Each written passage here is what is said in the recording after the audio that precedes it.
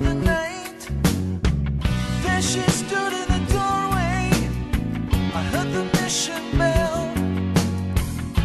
And I was thinking to myself, this could be heaven or this could be hell. Then she lit up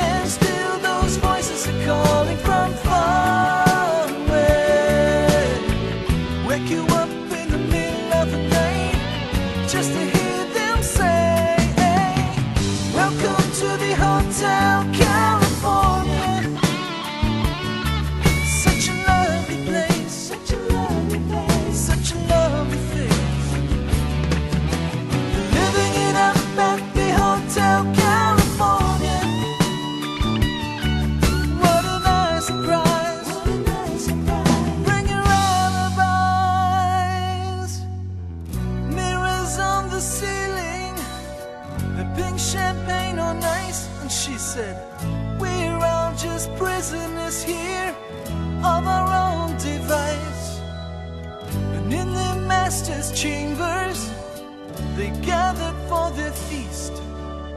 They stab it with their steely knives, but they just can't kill the beast.